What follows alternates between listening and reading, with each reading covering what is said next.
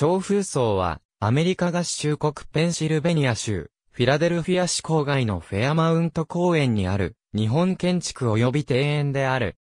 小風荘の建物は、1954年に、ニューヨーク近代美術館の展示物として、日本から寄贈されたもので、2年間の展示期間の終了後に現在地に移転し、1958年に一般公開された。建物は、吉村純造による設計で、書院作りを基本にしたものである。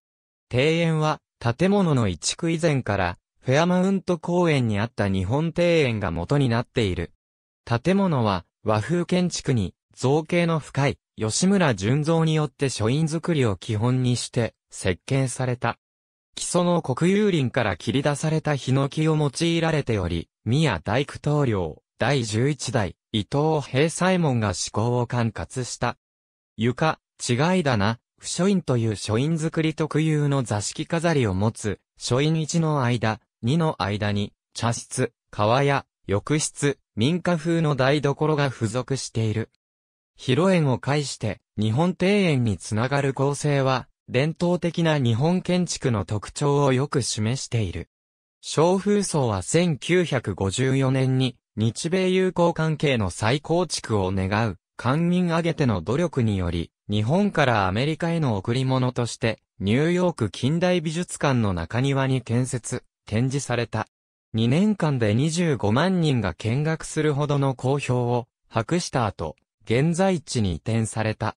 その後管理が行き届かずに荒廃してしまったので、1976年の米国生誕200年祭を機に、フィラデルフィア市からの依頼に応じ、日本からの基金によって修復工事が行われた。1999年には屋根職人が日本から渡米して、日和田屋根の送付機会を行った。2007年には日本画家、千住博が、襖絵20点を寄贈し、モダニズム表現の滝の絵が展示されている。ニューヨーク近代美術館は、第二次世界大戦後に、郊外住宅が多数建設されるようになった状況を見て、アメリカ国民にモダンリビングを啓蒙する必要があると考え、1949年からハウス・イン・ザ・ガーデンというシリーズ展を始めた。有名建築家が設計した住宅を同館中庭に2年ずつ実物展示するというものだった。初代は、マルセル・ブロイヤーの有名なバタフライ屋根の住宅で、続いて工業化住宅で知られるグレゴリー・エーンらによる住宅が展示された。同館の学芸員として、この一連の展示をプロデュースしたフィリップ・ジョンソンとアーサー・ドレクスラーは、近代住宅が日本の伝統的な住宅に似ていると考え、三つ目の展示を日本住宅にすることにした。文化交流を通して日米の友好に尽力していたジョン・ロックフェラー3世が1953年に訪日し、この事業への協力を依頼した。太平洋戦争で戦った両国の絆を築き直したいと願っていた日本側は、この依頼に積極的に応じ、日本住宅を日本からアメリカへ贈呈することを決議し、日米協会が中心になって民間企業270社などから建設基金を募った。外務省の融資も募金している。ロックフェラーと共に来日したドレクスラーは、当初既存建物の移築も考えていたようだが、古建築を見学しつつ建築士研究者の意見を聞くうちに、書院作りが展示するのに最もふさわしいと考えるようになり、当時文化財保護委員会建造物課長で、東大教授の関野勝のアドバイスに従い、御城寺工場院をモデルにした建物を新たに設計して展示することにした。そしてその設計者に選ばれたのが当時、東京芸術大学助教授の吉村淳三だった。設計者の選定には、チェコ系アメリカ人、アントニン・レーモンドが関係していると見てよい。レーモンドは1920年から日本で設計事務所を開いており、1938年にアメリカに帰国した際には、ロックフェラーの仕事をしている。吉村はその事務所の所員で、ニューヨークのロックフェラーセンターにあった日本文化会館の茶室の設計などのため、レーモンドに呼ばれて1939年から1年間、アメリカに滞在していた。思考は、関野の意向で、名古屋の宮大工伊藤家棟梁の第11代目平左衛門が、庭園は、京都の両安寺出入りの6代目、佐野明祭が担当することになった。建設に必要なヒノキが不足したため、林野庁の特別許可を得て、基礎の国有林からをヒノキを切り出した。建物は1953年末に伊藤家の作業場で仮組み立てを行った後で解体してニューヨークに搬送された。仮組み立てをしたのは日本から大工2名しか送れなかったので、建設手順を確認しておく必要があったからで、日和田吹きの屋根を約6尺角の正方形のユニットで組めるようにするなど、思考の簡略化が図られた。吉村、佐野と大工2名、左官1名が渡米し、ハワイ出身の日系2世の大工などを指揮して完成させた。建物は小風層と名付けられ、1954年6月19日から一般公開された。この建物は、現地の関心を呼び、建設中からニューヨークの新聞に取り上げられたほどである。自然の材料の美しさ、単純内省、開放的な間取り、精密な手仕事等が高く評価され、1954から55年の2年間の展示期間中には、開館前から長蛇の列ができ、全2回の展示の3倍にあたる約25万人の観客を動員した。1954年11月には、吉田茂首相も訪れている。フェアモント公園にあった仁王門小風荘は日本からアメリカへのプレゼントであったため、2年間の展示終了後の移築先が問題になった。ワシントン DC の日本大使館脇にという案もあったが、結局モマはフィラデルフィア市フェアモント公園に小風荘を寄贈することに決めた。フェアモント公園は、日本とゆかりの深い土地である。1876年の米国生誕100年祭を記念して、公園で開催されたフィラデルフィア万国博覧会に、日本が初めて公式に参画し、日本住宅及び日本バザーを建立した。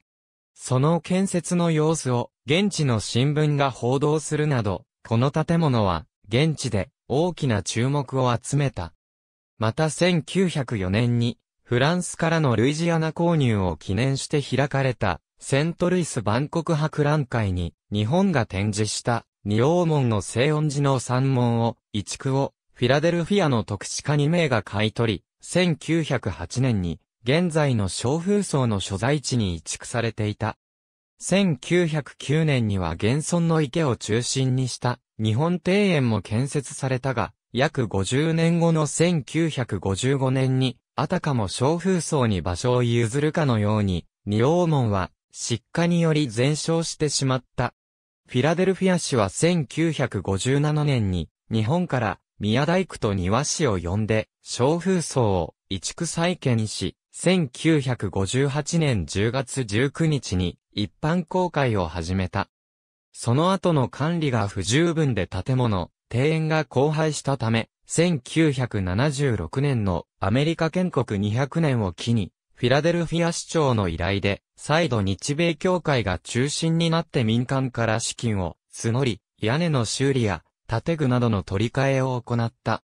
1982年には、公園に依頼されて、非営利法人、小風荘友の会が結成され、小風荘の保存維持、管理に当たっている。友の会は、小風荘を日米文化交流の架け橋として、茶会、夏祭り、753、寒月会などの文化事業を行っている。水のカーテン小風荘の床の間、襖には、東京美術学校の同級生の吉村の依頼に、応じ、東山海の記号になる墨への襖絵が展示されていたが、侵入者によってすべて破損され、修復不可能であった。2007年に世界を舞台に活躍している、日本画家千樹博の行為により、障壁画20点が寄贈された。古色の出た建物、庭園からの色を抽出、小風層カラーを創造し、千樹の得意とするモチーフ、滝の絵を越前間市に記号した。正面の床の間の絵は、アメリカ生誕の地フィラデルフィア市の自由を象徴して、鉄のカーテンと対比し、水のカーテンと呼ばれている。古建築と現代日本画の組み合わせが、国境を越えた有限な空間を創造し、訪問者を楽しませている。小風荘庭園の滝小風荘のモデルになった恩城寺工場院は、照明、殿屋州の昔六軒七間の殿物図に平面が似ていることで知られる。関の勝にとってそれは、工場院が書院作りの正当と言えることを意味する。しかし小風荘は、その単なるコピーではない。モマの中庭は、工場院の規模には、やや小さすぎるだけではなく、周囲は高層建築で囲まれていたので、みすぼらしくならないように配慮する必要があった。またモマは池を持つ庭園を作ることを要望した。設計者の吉村は、それらを踏まえつつ、工場院にはない台所や、茶室や、川や、浴室、台所を加えつつ、日本の住まい方を示すことを含め、日本の伝統的な住宅のエッセンスを示そうとした。浴室に障子をつけているのは、彼のサービス精神の表れだろう。また、小風層の木割りやり一面は、工場院とは異なっているし、工場院では、東破がある側が正面であるのに対し、小風層では、築地塀を一箇所切ったところから庭越しに望む位置を見どころにしている。それは、1の間、2の間と池庭をつなぐ広縁を中心にした空間が重要ということで、工場院を通しての吉村独自の伝統理解が示されている。それらは、現代にも有効な価値であるという意味で、彼にとって、小風荘は、古建築を映したものではなく、現代建築だったのである。吉村は、日和田屋根の曲線が、周囲の高層ビルと強い対象を見せ、白い築地に囲まれた庭が平和な、静かな額縁となって、効果的だった。庭と建物が一体となって作り出す環境は、西洋には全く新しいもので、日本が数百年も前から、このような家を作ってきたということを、アメリカ人は驚いている。と著述している。1953年6月に作成された図面によると、吉村はモまでの庭園には石庭を意図していたが、ドレクスラーの要望に応じて、工場院の庭を転居とし、濡れ園の前に池を配置した。庭木はすべて現地で調達された。岐阜県飛騨地方からも前搬入した80個の石は、佐野によって枯れた木を中心に池に配置された。築地塀から高月台のある石庭が広がりさらに、池へと展開していく、約180坪の日本庭園であった。フェアマウント公園にある、現在の庭園は、1909年に、日本の庭師によって、仁王門の前に蓮池を中心に作られた。この日本庭園の存在が、小風荘が、現在地に移築された要因である。1957年に、佐野明祭が滝を加え、日本から搬送された庭石を配置、杉、ヒノキ、しだれ桜等を植樹した。1976年の大修復の際には、造園家の中島健が月山を築き、敷石を加えた。月山の前面にある雪見道路は1953年に当時の東京都知事安井誠一郎によって寄贈された上野の関営寺所属の灯籠である。フェアマウント公園の森林を借景にした地戦艦章式の1300坪の日本庭園である。日本庭園に関する当地の雑誌、ジャーナルオブジャパニーズガーデニングによって、北米にある304の日本庭園の中で3位にランクされている。ありがとうございます。